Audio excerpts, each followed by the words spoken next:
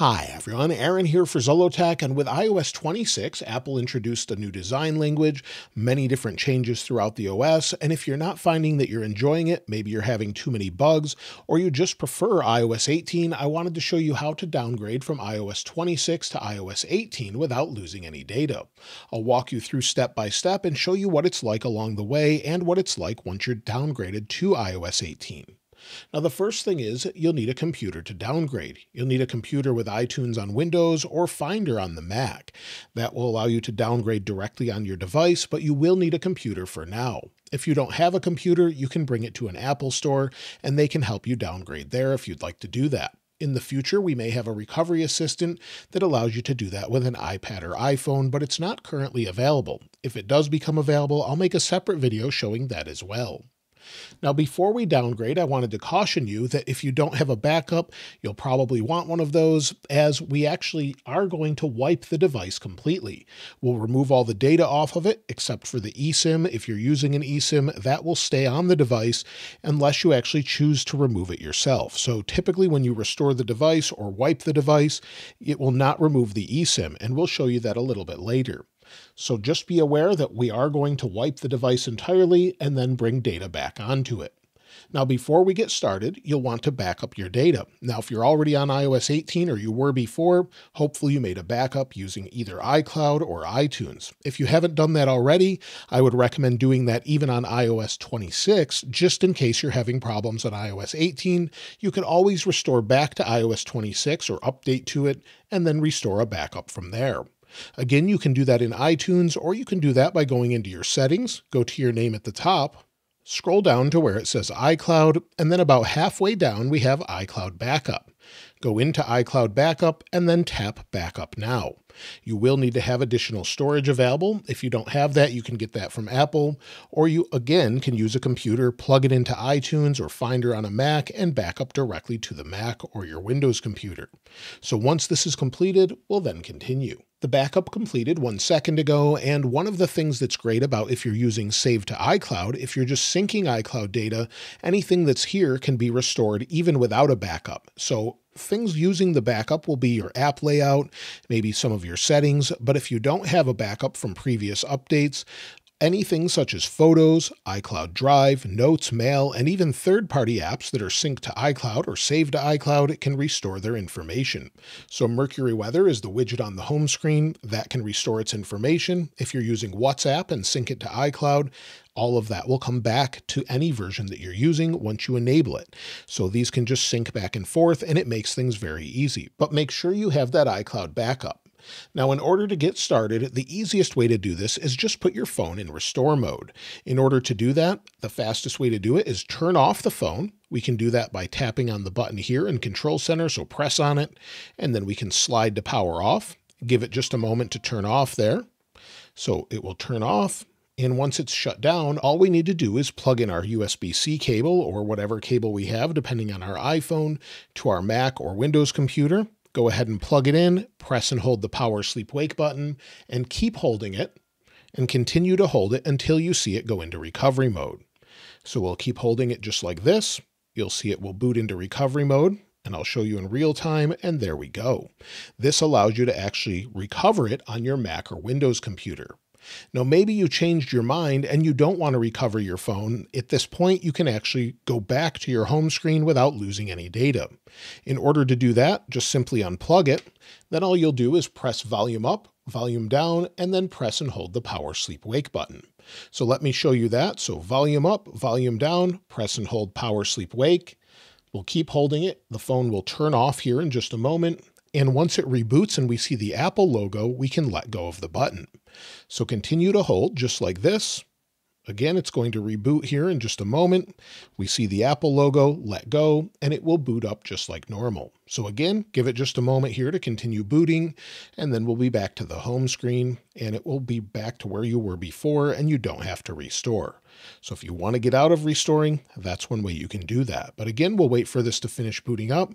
There we go, slide up, we'll put in our passcode, and now we're back to our home screen. So again, let's go into recovery mode and you can see this is iOS 26 currently.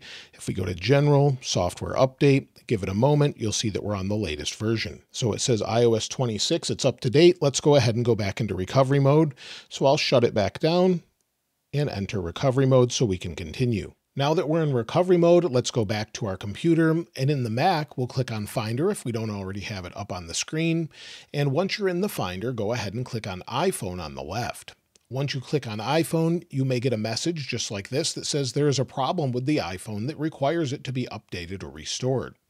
You can actually click restore right from here and it will begin the restore process if you bypass this message, so if I canceled it by accident, you'll get the same message here where you can restore the iPhone. So let's go ahead and click on restore. We'll do that. And then we can click restore and update. So this will actually download iOS 18's latest version and restore it to the phone. We will have to agree to the terms and click next through the actual setup.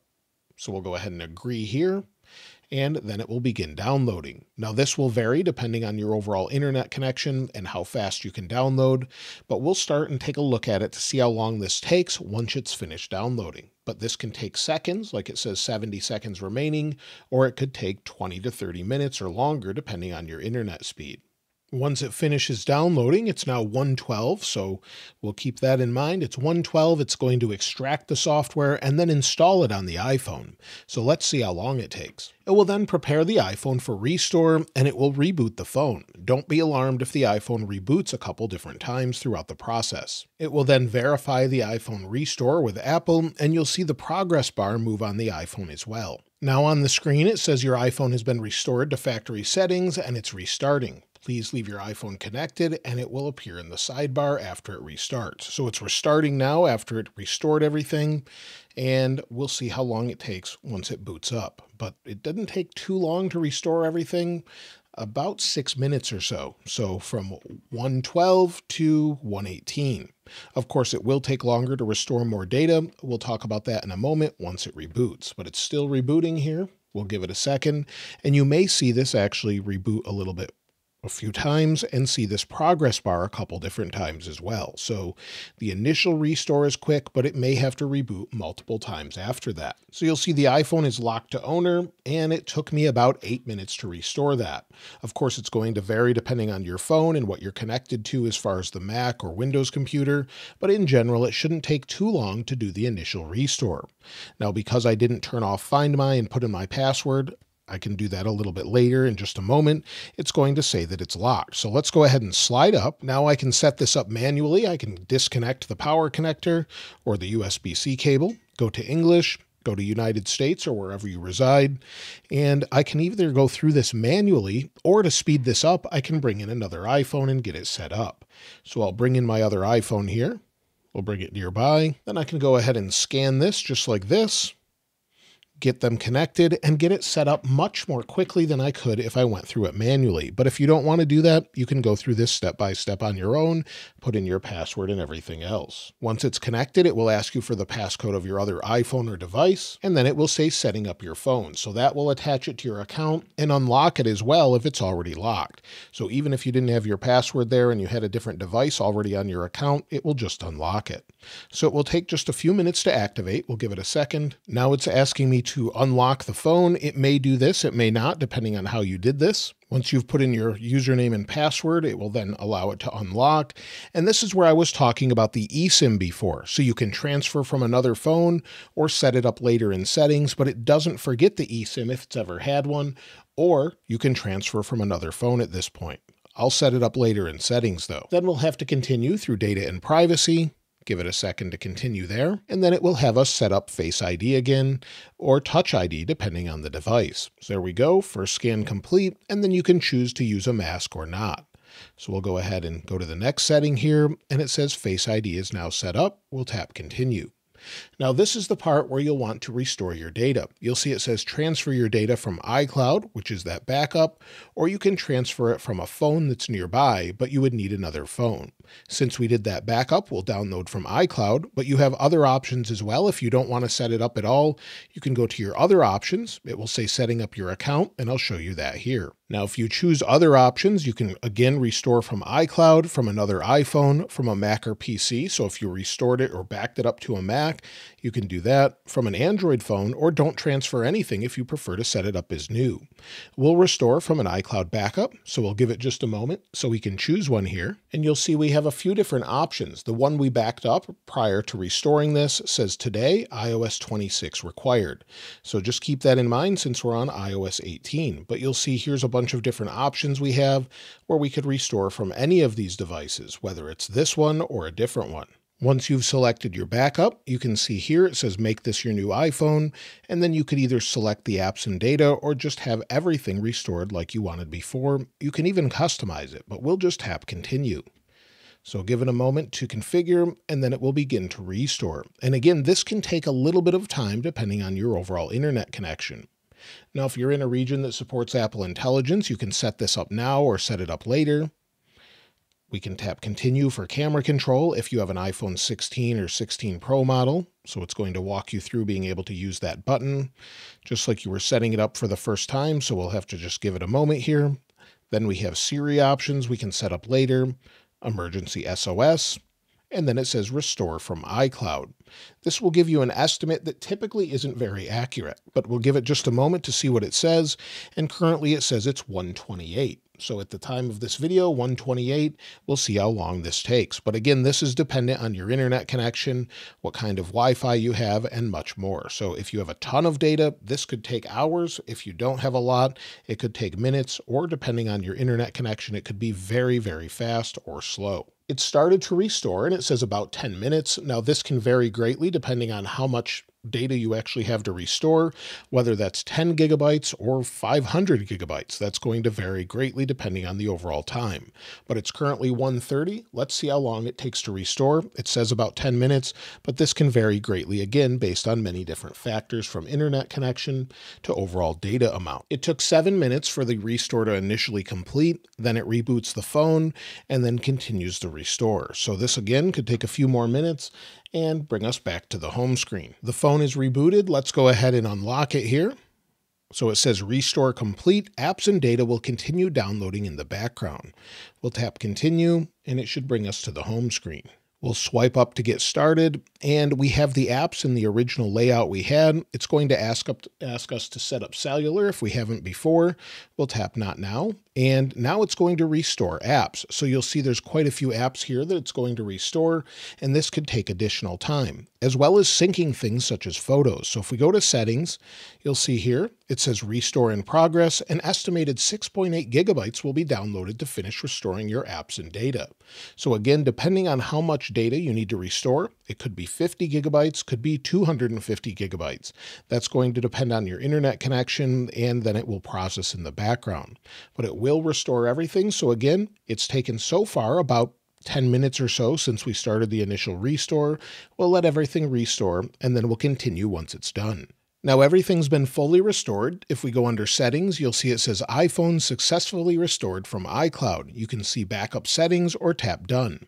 So everything's been restored. We have a complete iOS 26 to iOS 18 downgrade and restoration. So everything's been restored from photos. So if we go into photos, you'll see if I scroll up, it may have to look through different photos to get memories, but you'll see everything from pinned collections is there, other photos, recent days, and everything else will be here. The same is true if we we go under music, you'll see all of the same recently added. Go under playlists, all of your playlists are here. All of your messages have been restored along with all the photos that were with those or any attachments, email accounts, as well as third-party apps. So if maybe you're using WhatsApp or maybe you're using TikTok, all of that information will restore with the exception of maybe passwords. So you'll see the apps are here but maybe you'll need to input your password depending on the overall app. Instagram, Gmail, or Google, TikTok, and others may require you to put in your password again, but all of your data should be here as long as it was synced with iCloud or you restored. So hopefully that helps you restore everything. And you'll see here, if we go into settings, we go to general, and then we go to software update, and you'll see iOS 18.5, and it will restore back to whatever the latest version is. So maybe it's iOS 18.6 by the time you're watching this, it will restore to whatever version is the most current as it's allowed or signed. Now, the whole process took about an hour total, depending on the overall data, of course, that's going to vary. It could take an hour, hour and a half. Sometimes it can take eight hours, but usually the initial setup, restore, and back to your home screen is much quicker. It just takes a long time to restore everything in settings and all of your different apps. So hopefully that helped you restore back from iOS 26 and downgrade down to iOS 18. Let me know if that helped you in the comments below. And if you haven't subscribed already, please subscribe. And if you enjoyed the video, please give it a like. As always, thanks for watching. This is Aaron. I'll see you next time.